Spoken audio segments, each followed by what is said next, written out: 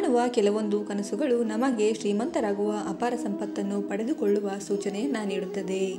ಯಾವೆಲ್ಲ ಕನಸುಗಳು ನಮಗೆ ಲಕ್ಷ್ಮೀ ದೇವಿ ಒಲಿಯುವ ಸೂಚನೆಯನ್ನು ನೀಡುತ್ತದೆ ಗೊತ್ತೇ? ಇಂತಹ ಕನಸುಗಳು ಬಿದ್ದರೆ ಸಿರಿ ಸಂಪತ್ತೇ ನಿಮ್ಮದಾಗುವುದು.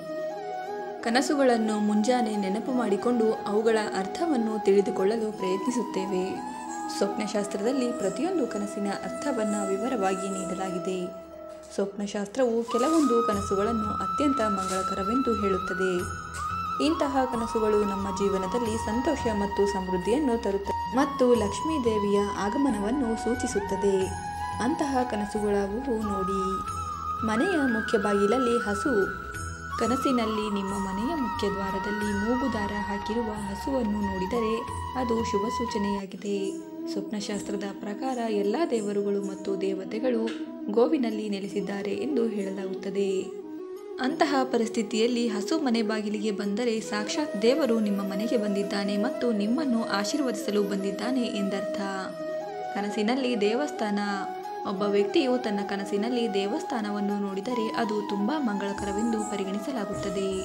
ಸ್ವಪ್ನಶಾಸ್ತ್ರದ ಪ್ರಕಾರ ಮನೆಯಲ್ಲಿ ಕೆಲವು ಶುಭ ಕಾರ್ಯಗಳು ಶೀಘ್ರದಲ್ಲೇ ಪ್ರಾರಂಭಗೊಳ್ಳಲಿವೆ ಅಥವಾ ನೀವು ತೀರ್ಥಯಾತ್ರೆಗೆ ಹೋಗಬಹುದು ಎಂಬುದನ್ನು ಇದು ಸೂಚಿಸುತ್ತದೆ.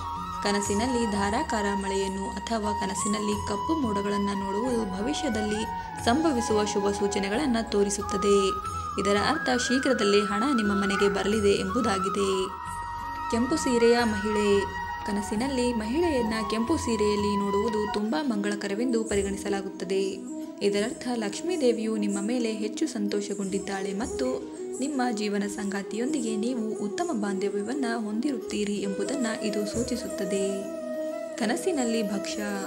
ಒಬ್ಬ ವ್ಯಕ್ತಿಯು ತನ್ನ ಕನಸಿನಲ್ಲಿ ರುಚಿಕರವಾದ ಭಕ್ಷ್ಯವನ್ನು ನೋಡಿದರೆ ಅವನ ಜೀವನದಲ್ಲಿ ಸಕಾರಾತ್ಮಕ ಬದಲಾವಣೆಗಳು ಶೀಘ್ರದಲ್ಲೇ ಬರಲಿವೆ ಎಂದರ್ಥ. ಈ ಕನಸನ್ನು ನೋಡಿದ ವ್ಯಕ್ತಿಯು ತನ್ನ ಕೆಲಸ ಅಥವಾ ವ್ಯವಹಾರದಲ್ಲಿ ತ್ವರಿತ ಪ್ರಗತಿಯನ್ನು ಪಡೆಯಲಿದ್ದಾನೆ. ಕನಸಿನಲ್ಲಿ ಹೂವು. ನಿಮ್ಮ ಕನಸಿನಲ್ಲಿ ಬಣ್ಣ ಬಣ್ಣದ ಹೂವುಗಳನ್ನು ನೋಡಿದರೆ ಇದರರ್ಥ ನೀವು ಲಕ್ಷ್ಮೀ ದೇವಿಯ ಆಶೀರ್ವಾದವನ್ನು ಹೊಂದುತ್ತೀರಿ ಮತ್ತು ಶೀಘ್ರದಲ್ಲೇ ನಿಮ್ಮ ಮನೆಗೆ ಸಂಪತ್ತು ಬರಲಿದೆ ಎಂಬುದಾಗಿದೆ ವಿಡಿಯೋ ಇಷ್ಟ ಆಗಿದ್ದರೆ ಪ್ಲೀಸ್ ವಿಡಿಯೋಗೊಂದು ಲೈಕ್ ಕೊಡಿ, ನಮ್ಮ ಚಾನಲ್ಗೆ ಸಬ್ಸ್ಕ್ರೈಬ್ ಆಗಿ. ಧನ್ಯ